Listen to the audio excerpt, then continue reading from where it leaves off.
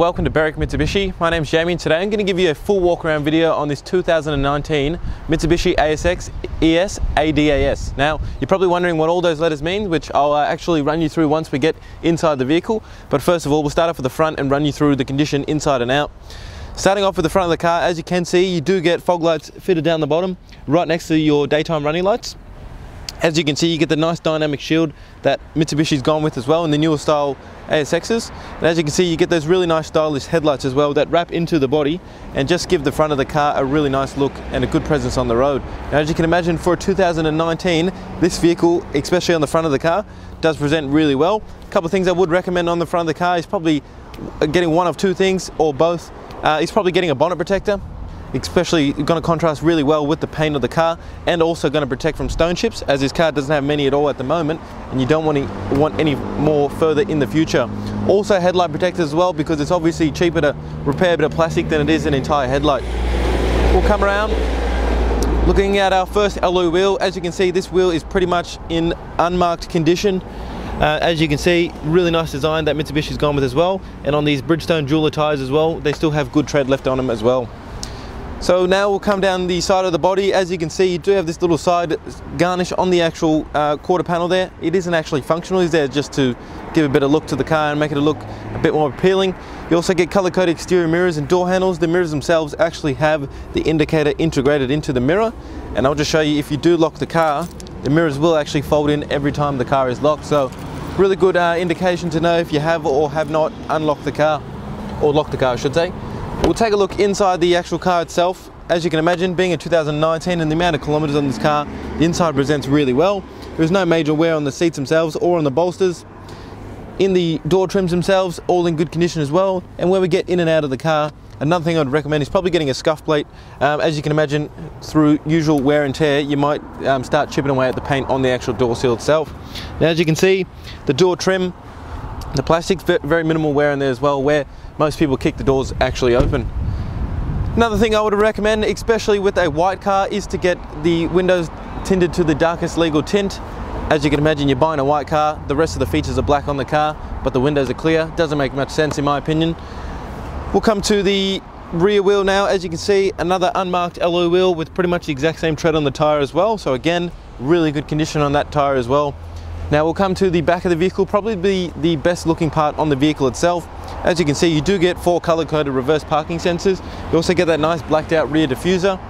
Do get a factory reverse camera as well, high mount stoplight and the rear windscreen wiper as well. Now we'll take a look inside the boot of the car.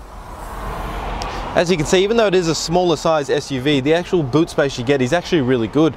Now under the actual tray here itself, you do get a space saver spare wheel and as you can tell it's obviously never been used which is always a good indication.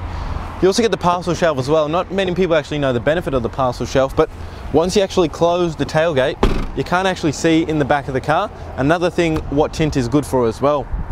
Now we'll come around to the passenger side of the vehicle where again as you'll see another unmarked alloy wheel Looks like this tire does have a brand new tire on the actual, um, on the third wheel as well. Your fuel cap is just above that third wheel as well, so that is the safe side of the car. So if you do ever need to fill up, you know you will be on the safe side of the vehicle. Then working our way down again, you'll notice how good the actual paintwork is on the car. Another thing that it probably accessorize the car with as well is probably something like weather shields, especially just to give it a nice stylish look and obviously the benefits of weather shields as well, which always come in handy. Then coming to the fourth and final wheel. Now this wheel you do usually expect a little bit of wear and tear on the wheel itself, and this wheel does have just a minor, minor mark on the wheel, it's on the um, just the alloy wheel itself. But other than that, does present really good with another good tire. And as you can see, guys, with the exterior condition of the vehicle, the previous owner has done a great job of maintaining it. Alright guys, now taking a look underneath the bonnet. So what we have here is a four cylinder, two litre petrol engine. Actually the same engine that they run in the Mitsubishi Lancer as well. You do get 110 kilowatts and also 197 newton meters of torque. You get a six-speed CVT transmission. You get a 63 litre capacity tank, so a really big fuel tank for the actual size of the vehicle. And you can run that fuel tank, or the car I should say, on 91 or above. Now the attractive thing about this engine is actually the fuel consumption. So on average, you're going to get around 7.6 litres to the 100k. So out of an average tank of fuel, you're going to get up uh, around 829 kilometres. Alright guys, now taking a look inside the ASX and this is where I actually uh, talk to you about the ADAS features. But first of all, we'll start off on the uh, driver's side door. Do have all your power window controls. You also have a button here to lock the windows as well. And then you have your central locking for all the doors as well.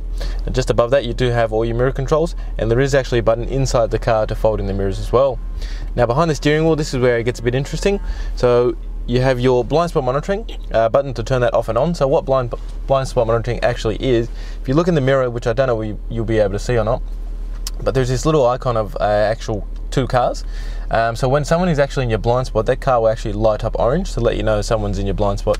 Also, if you click the indicator why uh, that person is in your in your blind spot and the mirror is light up, it would actually beep, so you uh, are warned not to actually go.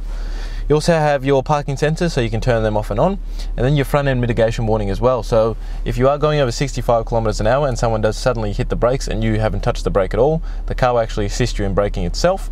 And under 65 kilometers an hour, uh, it'll just give you a warning to say, you know, you should hit the brake. Down below you also have your lane departure warning as well, so getting too close to the white lines the car will actually beep at you. Obviously you'll once you hear that beep you'll move back over.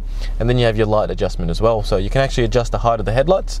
Um, so if you do want to get better coverage on the road you can do so as well.